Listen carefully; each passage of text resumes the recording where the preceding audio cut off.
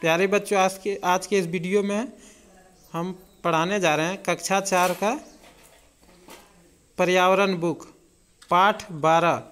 कहानी का शीर्षक क्या है? अपना प्यारा घर। तो घर सभी को प्यारा लगता है। घर कैसे लगता है? नन्ही गोरैया को अंडे देने हैं। नन्ही गोरैया है, उसको क्या देने हैं? अंडे देने हैं। वह चाहती थी कि एक बढ़िया घोंसला बनाए। वह क्या चाहती थी? एक बढ़िया घोंसला बनाए जहाँ वह सुकून से अंडे दे सके जहाँ वह सुकून से अंडे दे सके। और अपने बच्चे की सुरक्षित देखभाल कर सके और अपने बच्चे की सुरक्षित देखभाल कर सके, कर सके। घोंसला बनाने के पहले उसने अन्य पक्षियों के घोंसलों को देखना ज़रूरी समझा। घोंसला बनाने के पहले उसने अन्य पक्षियों के घोंसले को देखना ज़रूरी समझा। सबसे पहले वह गुटकू कबूतर से मिली। सबसे पहले किस पक्षी से मिला? गुटकू कबूतर से मिली। गुटकू दादा, एक बढ़िया घोंसला बनाने के लिए मुझे तुम्हारी सलाह चाहिए। ननी गोरैया क्या बोली? गुटकू दादा। मुझे बढ़िया घोंसला बनाने के लिए तुम्हारी सलाह चाहिए। मैंने मदद मांगा, उससे ठीक। घोंसले को बढ़िया बनाने में मेहनत करना तो बेकार ही है। गुटकू दादा बोले, कबूतर बोले, ठीक। घोंसले को बढ़िया बनाने में मेहनत करना तो बेकार ही है, क्योंकि ज़्यादा से ज़्यादा महीने भर के लिए ही घोंसला की ज़रूरत रहती है। क्या बोले वो? महीने भर ही घोंसला की ज़रूरत रहती है।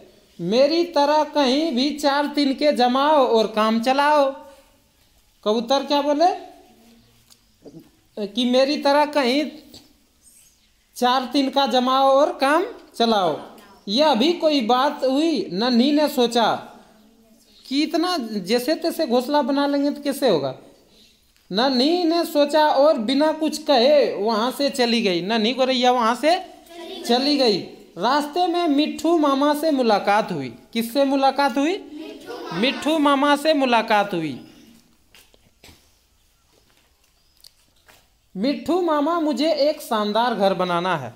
कौन बोली? नन्ही गोरैया, किससे? मिट्ठू मामा से।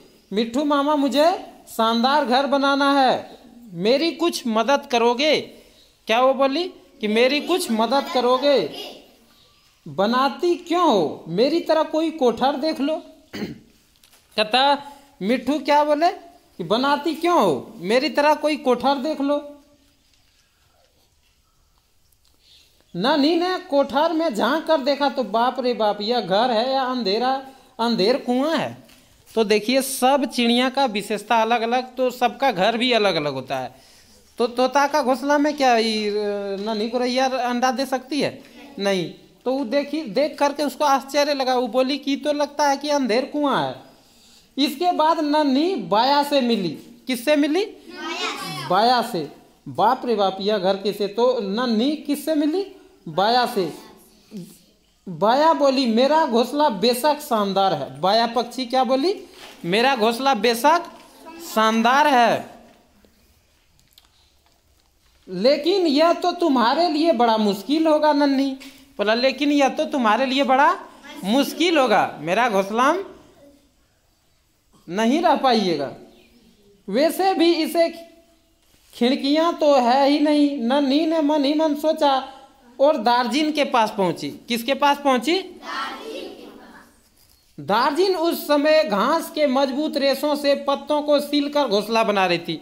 कैसे घोंसला बना रही थी? पत्तों को सीलकर घोंसला बना रही थी। सुई का काम अपनी नुकीली चोंच से ले रही थी। और दार्जिन चिड़िया बताए थे ना आप लोग को कि सिला कर घोंसला बनाती है बनाती है ना? सुई का काम वो नोकीली चोंच से कर रही थी। दार्जिन गर्व से नन्ही की ओर देखती हुई बोली, तुम्हारे लिए मेरे जैसा घोंसला बनाना तो संभव ही नहीं है, क्योंकि तुम्हारे पास मेरी जैसी चोंच नहीं है।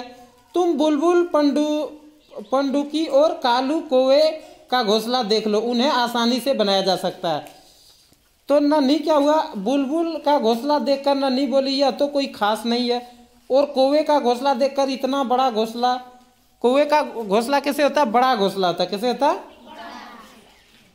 और ऐसा कटीला और कठोर, मेरे नाजुक बच्चे भला ऐसे घर में रह, घर में कैसे रहेंगे? बोले कि इस तरह घर में मेरा बच्चा कैसे रहेंगे? कंटीला झाड़ी से वो बनाता है घोसला। कौन? कौआ लेकिन अब वह समय आ गया जब मुझे घोसला जल्दी बना लेना चाहिए। सबके पास वो सलाह लिया लेकिन किसी का सलाह काम किया कि उसका? नहीं, नहीं। देखिए सब चिड़िया का विशेषता अलग अलग है सबका घोसला अलग अलग ढंग का रहता है। अब गोरैया तोता घोसला में रह सकती है कि? नहीं ना। तो न नहीं सोचने लगी क्या करूँ? कैसा घोसला बनाऊँ? न नहीं सोच रही थी। तभी तारों पर बैठा एक नीलकंठ बोला, तुम तो अपने तरीके से ही घर बनाओ। सबसे अच्छा सलाह कौन दिया? नीलकंठ।